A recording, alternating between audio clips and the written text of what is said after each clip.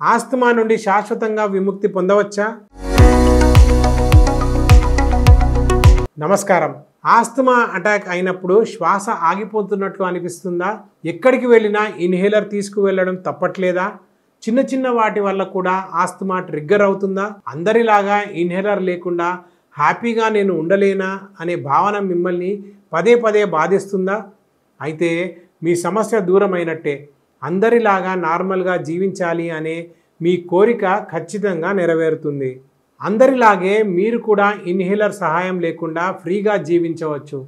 ఇక మీదట శ్వాస ఆడకపోవడం ఛాతి బిగుతుగా మారడం వంటి సమస్యలే ఉండవు. ఎందుకంటే ఆయుర్వేదంలోని కొన్ని చికిత్సలు మీ ఆస్తమా సమస్యను శాశ్వతంగా దూరం చేస్తాయి. అలాగే ఆయుర్వేదం సిఫార్సు చేసే కొన్ని ఆహార మరియు జీవనశైలి మార్పులు మీ జీవితాన్ని పూర్తిగా మార్చేస్తాయి. అసలు ఏంటా చికిత్సలు? ఆయుర్వేదం ఏ విధంగా మమ్మల్ని ఆస్తమా చరణ్ నుండి విముక్తి చేస్తుంది అనేది తెలియాలంటే వెంటనే మా ఛానల్ని సబ్స్క్రైబ్ చేసుకొని ఈ వీడియోను చివరి వరకు చూడండి. ఆయుర్వేదం మీ సమస్యను ఏ విధంగా నయం చేస్తుందో తెలుసుకునే ముందు ఆస్తమా సమస్య గురించి ఏం చెబుతుందో ఒకసారి తెలుసుకుందాం. ఆయుర్వేదం ప్రకారం ప్రతి ఒక్కరి శరీరంలో వాత పిత్త మరియు కఫ అనే మూడు దోషాలు ఉంటాయి. మనం అనారోగ్య పాలు అవడానికి ఈ మూడు దోషాల్లో ఏర్పడే అసమతుల్యతయే కారణం. అలాగే ఆస్తమాకి కూడా ఈ దోషాల యొక్క అసమతుల్యతనే కారణం. ముఖ్యంగా కఫ మరియు వాతం యొక్క అసమతుల్యత కారణంగా శ్వాసనాళాలు బ్లాక్ అవ్వడం వల్ల ఆస్తమా సంభవిస్తుంది. ఈ బ్లాకేజ్ శ్వాస తీసుకోవడంలో ఇబ్బందులకు దారితీస్తుంది. అసలు ఎందుకు ఈ దోషాలలో అసమతుల్యత ఏర్పడుతుంది అనే విషయానికి వస్తే దానికి ప్రధాన కారణం పేలవమైన ఆహారపు అలవాట్లు అలర్జీ కారకాలకు గురి కావడం శ్వాసకోశ ఇన్ఫెక్షన్లు ఒత్తిడి మరియు పర్యావరణ కాలుష్యం ఇవన్నీ కలిపి పరోక్షంగా ఆస్తమాకు దారితీస్తాయి. ఇప్పటి వరకు మీ సమస్యకు కారణం తెలుసుకున్నారు కాబట్టి ఇప్పుడు పరిష్కారం తెలుసుకోండి. ఆస్తమాను దూరం చేయడానికి ఆయుర్వేదంలోని అత్యంత ప్రభావవంతమైన మొట్టమొదటి చికిత్స వమనం. వమనం అనేది ఆస్తమాతో బాధపడే వారి శరీరంలో నుండి అదనపు కఫాన్ని లేదా శ్లేష్మాన్ని తొలగించడం కోసం నిర్వహించే ఒక ఆయుర్వేద ప్రక్రియ. ఈ ప్రక్రియలో ఆస్తమాతో బాధపడే వారికి వాంతులను కలిగించే నిర్దిష్ట మూలికా మిశ్రమాలు ఇవ్వడం జరుగుతుంది. ఈ మిశ్రమాలు శ్వాస మార్గంలో పేరుకుపోయిన శ్లేష్మాన్ని క్లియర్ చేయడంలో సహాయపడుతుంది. అలాగే వాయు మార్గంలో ఏర్పడిన బ్లాకేజ్ మరియు వాపును తగ్గిస్తాయి. ముఖ్యంగా ఆస్తమాకు కారణమయ్యే మూల కారణాన్ని తొలగిస్తుంది. అంతేకాకుండా ఆస్తమా సమయంలో ఉండే లక్షణాలను తగ్గించేస్తుంది. దాంతోపాటు భవిష్యత్తులో వచ్చే ఆస్తమా అటాక్లను కూడా నివారిస్తుంది.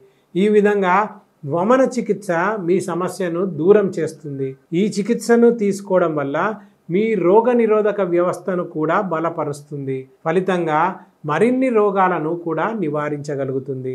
ఇవే కాకుండా ఆస్తమాను పూర్తిగా నయం చేయడానికి ఆయుర్వేదంలో మరిన్ని చికిత్సలు ఉన్నాయి.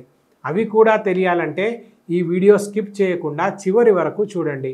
ఆస్తమా నుండి మిమ్మల్ని శాశ్వతంగా విముక్తి చేయడానికి ఆయుర్వేదంలో ఉన్న అద్భుతమైన రెండవ చికిత్స విరేచన కర్మ. ఆస్తమాతో బాధపడే వారికి ఇదొక ఉత్తమమైన చికిత్స అని చెప్పవచ్చు. ఎందుకంటే ఈ చికిత్స శరీరాన్ని నిర్విషీకరణ చేయడంతో పాటు మరియు కఫ మరియు పిత్త దోషాలను సమతుల్యం చేస్తుంది. ఈ ప్రక్రియలో జీర్ణాశయాంతర పేగులను శుభ్రపరచడానికి మూలిక భేదీ మందులను ఉపయోగించడం జరుగుతుంది. ప్రక్రియ ద్వారా పేగులలో పేరుకుపోయిన టాక్సిన్స్ మరియు అదనపు దోషాలను విరేచనం ద్వారా తొలగించేస్తుంది. ఈ చికిత్స మీ ఆస్తమాను దూరం చేయడమే కాకుండా మీ జీర్ణ మరియు జీవక్రియ చర్యలను మెరుగుపరుస్తుంది. ఫలితంగా మీ రోగ నిరోధక వ్యవస్థను బలపరుస్తుంది. ఈ డీటాక్సిఫికేషన్ ప్రక్రియ ఆస్తమా అటాక్ సమయంలో ఉన్న శ్వాసకోశ రద్దీ మరియు వాపును తగ్గించడంలో కూడా సహాయపడుతుంది. అలాగే ఊపిరితిత్తుల యొక్క పనితీరును కూడా మెరుగుపరుస్తుంది. ముఖ్యంగా ఆస్తమా సమయంలో ఉండే లక్షణాలను కూడా దూరం చేస్తుంది. ఈ విధంగా విరేచనం ఆస్తమాను సమగ్రంగా తగ్గిస్తుంది. ఇక ఆస్తమాను దూరం చేసే మూడవ ఆయుర్వేద చికిత్స నస్యకర్మ. నస్యం అనేది నాసికా రంధ్రాల్లో ఔషధ మూలికల యొక్క తైలాన్ని చొప్పించడం.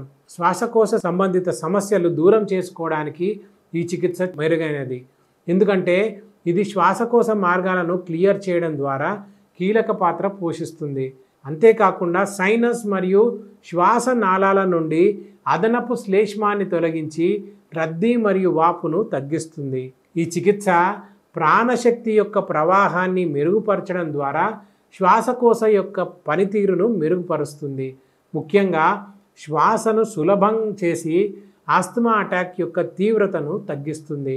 ఎందుకంటే ఈ ప్రక్రియలో ఉపయోగించే మూలికా తైలాలు యాంటీ ఇన్ఫ్లమేటరీ మరియు యాంటీ మైక్రోబియల్ లక్షణాలను కలిగి ఉంటాయి. ఇవి శ్వాసకోశ ఆరోగ్యానికి మరింత మద్దతునిస్తాయి.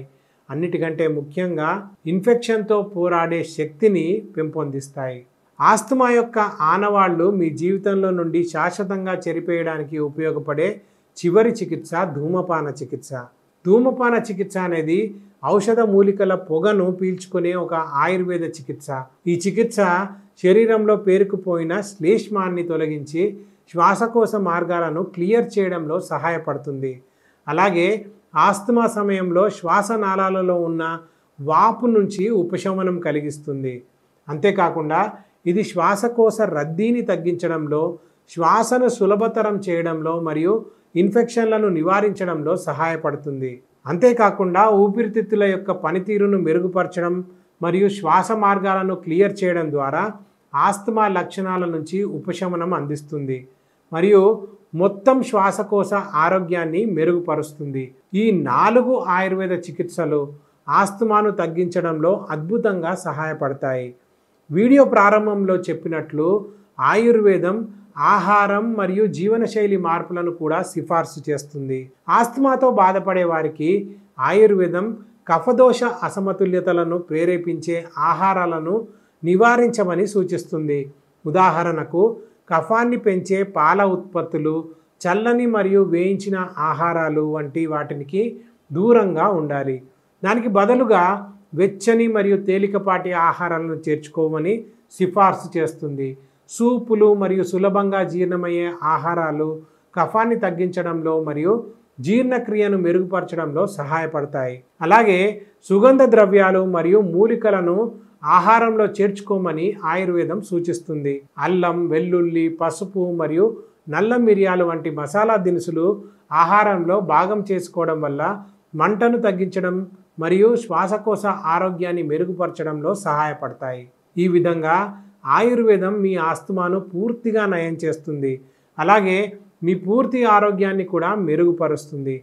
ఒకవేళ ఇలాంటి అద్భుతమైన చికిత్సలతో మీ సమస్యను దూరం చేసుకోవాలి అని అనుకుంటే వర్ధన ఆయుర్వేదాన్ని సంప్రదించండి. ఎందుకంటే ఆస్తమాకు గత ఇరవై ఐదు ఏళ్ళ నుండి వమన విరేచన నస్య ధూమపాన వంటి ఉత్తమమైన ఆయుర్వేద సేవలను అందిస్తున్నాము. మరి ఇంకెందుకు ఆలోచిస్తున్నారు? వెంటనే వర్ధన ఆయుర్వేద సహాయంతో మీరు కూడా ఆస్తమా రహిత జీవితాన్ని తిరిగి పొందండి. ఇలాంటి విలువైన కంటెంట్ ప్రతిరోజు తెలుసుకోవాలనంటే మా ఛానల్ను సబ్స్క్రైబ్ చేసుకోండి. అలాగే ఈ వీడియో మీకు ఎలా అనిపించింది అనేది కింద కామెంట్ చేసి చెప్పండి.